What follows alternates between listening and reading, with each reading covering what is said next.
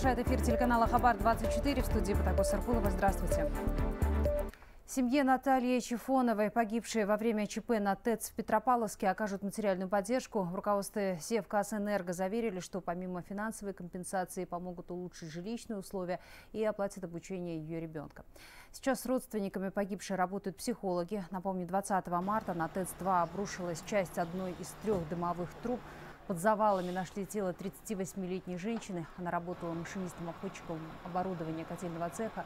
Ее искали более суток. Разбор завалов был осложнен наличием свисающих деформированных железобетонных плит перекрытия и опасностью падения фрагментов поврежденной дымовой трубы. Кроме того, не было возможности использовать тяжелую технику и работы проводились вручную. На помощь пришли коллеги из столицы. Тело женщины направили на судебно-медицинскую экспертизу. Тем временем в Петропавловске продолжается работа по восстановлению стопроцентного теплоснабжения. На ТЭЦ-2 запустили пятый котел-агрегат. Об этом сообщили в областном Акимате. Сейчас подача энергоснабжения осуществляется почти в штатном режиме. Напомню, ЧП привело к отключению тепла в жилых домах и служебных помещениях. Позже стало известно, что директора и главного инженера ТЭЦ-2 взяли под стражу. Они выдворены в изолятор временного содержания. Уголовное дело расследуется по статье «Недобросовестное отношение к обязанностям». Точная причина аварии будет установлена после заключения госкомиссии. Другим темам. Непогода продолжает бушевать в Казахстане. Из-за метели и плохой видимости ряд дорог республиканского значения остаются закрытыми. К этому часу ограничено движение на участках трасс Восточно-Казахстанской области, Карагандинской, Костанайской и Павлодарской. При этом из столицы сейчас дороги открыты во всех направлениях. Однако в Казавтожол просят автолюбителей воздержаться от дальних поездок. А при возникновении внештатной ситуации рекомендуют обращаться в колл-центр по номеру 1403. Отмечу, сегодня и завтра на большей части Казахстана объявлено штормовое предупреждение. В северных и восточных регионах ожидается снег. На востоке, севере и в центре страны ночью минус 18. В Алматы 23 марта ожидаются сильные осадки.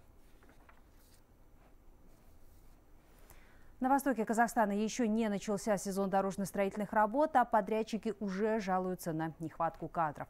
В регионе продолжается масштабная реконструкция сразу двух дорог республиканского и даже международного значения. Речь идет о трассах Омск-Майкопчуга и Алматы-Усть-Каменогорск. Сейчас строители обязаны ускориться, но хватит ли им рабочих рук и как можно решить проблему, узнавала Аннели Симбертина.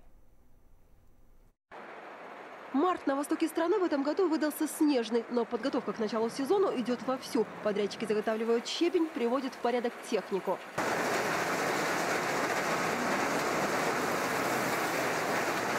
Задача строителей на участке Колбатау-Майкопчугай – вовремя начать работы. Тем более, что этот сезон решающий. Они сильно отстают от графика по ряду объективных причин. И продлят ли контракт подрядчикам, зависит от успехов этого года. Но сложности создает дефицит кадров. Муратбек Тимирбаев всю зиму на объекте. Он инженер службы технадзора. Делится другим его коллегам сложнее. Многих отправляют в отпуска без содержания, пока работы не начаты. А это тоже чревато потерей трудовых ресурсов. Конечно, могут уйти. Где, где деньги, деньги есть, где зарплату платят, люди туда стараются уходить. Поэтому надо здесь удержать надо специалистов. У нас особенно э, инженера по ИСО, ИСО. Это по мостам, по трубам. Таких специалистов очень тяжело найти.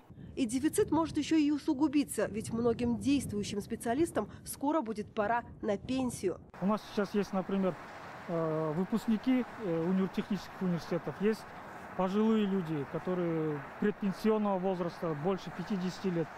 А именно середнячка вот, от 35 до 45 как бы такого персонала нет. И проблема эта актуальна для всей отрасли. Более того, оказалось, что даже в акиматах требуются инженеры. Сейчас вот даже мы проводим ведомственную экспертизу. Это тоже ощущается именно при, допустим, разработке документации, первичной документации это тоже ну, как ощущается, что нету инженеров, специалистов, просто те, те же районные ЖКХ, у них специалистов нету, и просто люди занимаются именно те, кто давно занимался. Но и они не знают всех нюансов. В итоге встречаются ошибки в технической документации. Решать проблему нужно комплексно, уверены в Национальном центре качества дорожных активов. Чтобы привлекать кадры еще со школьной скамьи, организация стала инициатором проекта «2000 школ». Идет массовая профориентационная работа. Кроме того, запущена и платная практика для студентов, чтобы еще во время учебы они почувствовали на вкус свою будущую профессию и получали за это деньги. Анна Лесенберт, Баканов, Восточно-Казахстанская область, Хабар, 24. И о событиях в мире. В Германии сотрудники наземной службы аэропортов массово не вышли на работу. Из-за забастовки, которая продлится сутки, по всей стране отменены сотни рейсов. По предварительной информации, на график полетов в Казахстан это не повлияет. Отмечу, масштабная стачка затронула 9 немецких воздушных гаваней, среди которых крупнейшие во Франкфурте на Майне, Кёльне и Гамбурге. В столице тоже задержки рейсов. В Берлине отказались выполнять свои обязанности более 200 сотрудников. В итоге администрация аэропорта аэропорт объявила, что отменяет две трети рейсов. Из 160 запланированных вылетят только 50. Бастующие требуют увеличения заработной платы для 25 тысяч сотрудников. Если работодатель не согласится, то профсоюз намерен снова организовать забастовку и, возможно, более длительную. Äh, Наше главное требование – повысить оплату сотрудникам аэропортов, независимо от того, работают они на западе или на востоке Германии. Условия должны быть одинаковыми. Сейчас мы получаем от 13 до 19 евро в час. Но мы считаем, что оплату должны поднять на 1 евро в час. Мы надеемся, что работодатель пойдет на переговоры и согласится на наши условия. Если же нет, то мы не исключаем проведение новых забастовок. Тем временем в Китае на месте крушения Боинга 737 продолжаются поисково-спасательные работы. Associated Press распространила кадры, на которых видны личные вещи, документы пассажиров, а также обломки судна.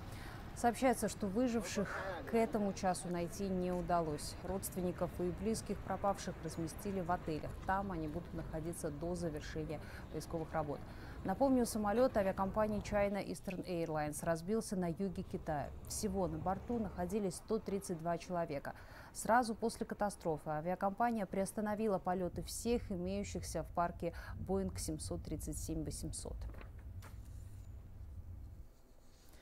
в США мощный торнадо пронесся над северным Техасом, разрушив десятки домов. В результате удара стихии пострадали четверо человек. По информации местных изданий, ураган повредил также здание местной школы, разрушив несколько стен и крышу спортивного зала. Пострадали и другие объекты. Сумму ущерба еще предстоит подсчитать.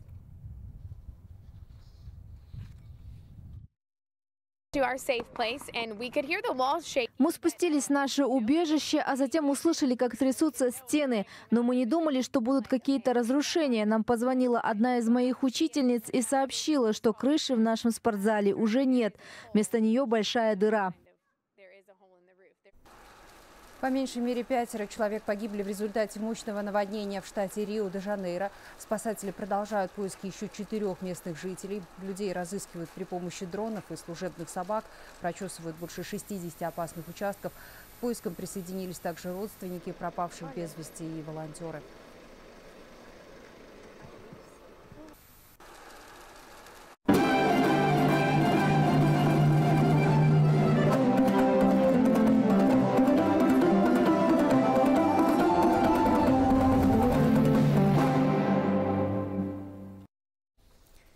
Вновь о событиях в нашей стране. В столице Наурас Мейрама отметили, можно сказать, в экстремальных погодных условиях. Но метели и порывистый ветер не остановили останчан. Жители и гости города пришли на площадь Казах-Еле, чтобы насладиться концертом казахстанских артистов и окунуться в атмосферу праздника. Там развернут импровизированный мини-аул из восьми юрт.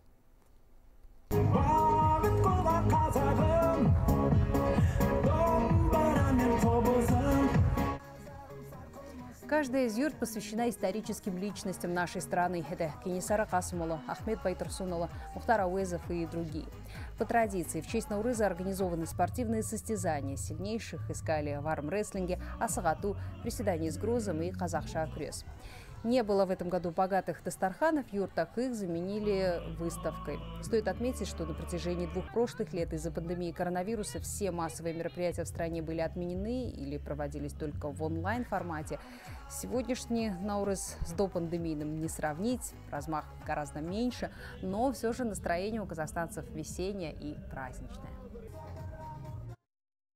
22 наурыз келіп жатқан барша қазақтардың мейрамымен құттықтаймын Несмотря на сегодняшнюю погоду, хоть снег, хоть мороз, люди все равно пришли сюда, чтобы поделиться своими искренними пожеланиями и эмоциями. Мирного неба всем нам над головой. Пусть мы, дети, мои сверстники не знают, что такое война. Наурыз құтты болсын. Всех с праздником Наурыз! Пусть в ваших домах будет счастье, благополучие и любовь. Холодная погода не помешала встретить Наурыз и жителям Павлодара. Впервые после двух лет пандемии праздник там, как и в других регионах страны, отмечают широко и весело. Всего там установили около 200 юрт, а основные гуляния развернулись возле Дворца культуры имени Естая. Как и прежде, традиционные гуляния разделились на тематические зоны. В одних следят за национальными видами спорта, а в других раздают баурсаки. Ну и куда же без концерта?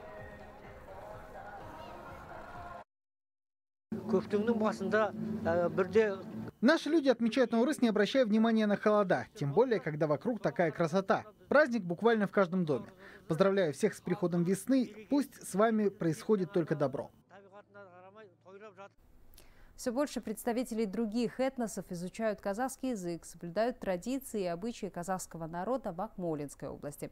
Не редкость в регионе и межэтнические браки. Почему многие девушки других национальностей хотят стать казахской келен, узнал Аслан Абуталипов. Кызым, сегодня мы будем с тобой готовить бешбармак. Для Ирины Нуркиевой, ставшей невесткой казахской семьи еще 10 лет назад, готовить бишбармак, печь баурсаки – дело обыденное. Украинка по национальности стала казашкой в душе. Наурыз Мирамы – один из знаменательных праздников в их семье. Мы празднуем э, национальные праздники, это и Наурыз празднуем, Курбанайт празднуем. На Курбанайте мы это обязательно мы пекем жакананы, баурсаки, раздаем детям э, садака, то есть все э, традиции, все обычаи, которые необходимы, мы все соблюдаем. Наурыз мы отмечаем, это, конечно, э, конактар, э, Дастархан, Наурыз көже. Вот э, буквально год назад я опять-таки представляла, доказывала, что я достойна быть келінкой, участвовала у нас в сельском конкурсе Келін. Поначалу были сомнения по поводу другой культуры и менталитета, вспоминает Ирина, но переступив порог дома Нуркеевых, она позабыла обо всех переживаниях. Сегодня она любимая жена, счастливая мама троих детей, а также учитель в местной школе. Попасть в казахскую семью, это, наверное, ну, счастье, это почувствовать, что такое большая семья. Тем более, когда э, в семье единственная, и быть в такой большой семье, это очень-очень хорошо. Всегда мы рады гостям, мы рады дарить, мы любим дарить подарки, Той Бастар, э, и все это у нас шашу, да, это тоже неотъемлемая часть праздника. Это все у нас соблюдается, все почитается и стараемся выполнять. Будущей казахской келен в шутку называют Милану Тарасову. Она в совершенстве владеет казахским языком. Несмотря на свой юный возраст, сейчас она преподает в кабинете изучения государственного языка. В дальнейшем планирует стать учителем казахского. Еще в школьные годы в играх, на уроках я обучала своих сверстников и других детей казахскому языку, разговаривала на нем, рассказывала казахские национальные обычаи. К примеру, мне очень нравится Наурыз. В этот день в нашем ауле обычно устанавливают юрты, готовят куже, устраивают конные скачки байге, казахша курес. Для меня это Новый год, настоящее начало года. В областной ассамблее народа Казахстана отмечают, что сегодня в регионе очень много семей других национальностей, которые придерживаются казахских традиций и обычаев, распространяют их. В районах есть много немцев, поляков, чеченцев, которые знают язык, отмечают казахские праздники, активно участвуют в общественной жизни. В эти праздничные дни представители всех этносов в районах области вместе празднуют Наурыз Мейрама, дарят друг другу подарки, говорят добрые пожелания. Именно это, отмечают они, укрепляет согласие, единство и дружбу. Аслан Абуталипов, Евгений Шинкаренко, Акмолинская область, Хабар 24. И к этому часу у нас все. Всего доброго и еще раз с праздником.